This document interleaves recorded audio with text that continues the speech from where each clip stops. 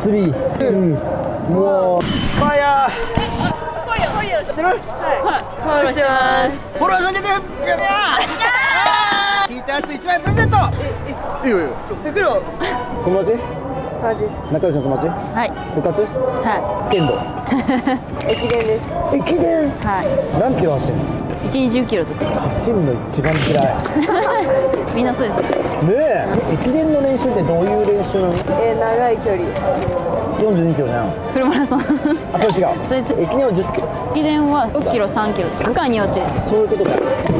わかるよえ、なんでまた駅伝やろうと思ったの？え中学でやってたんです中学で駅伝部なんてあるの？あります聞いたことないよ、そんなの。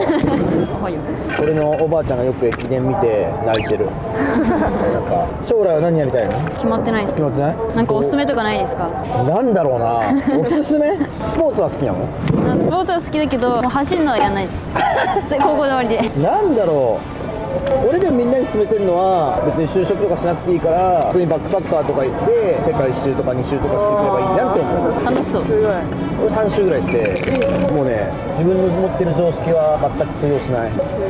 どこが一番楽しかったですか？メキシコが楽しかった。行かれてる。マジでイカれてる。綺麗。マラソンだけは絶対やりたくないな。辛いよな。辛いですいやでもあれできればさいろんなこと我慢できるよね。それはすごいと思う。しゃあ完成だぜ。3 2もうおすごいすごい。綺麗 beautiful beautiful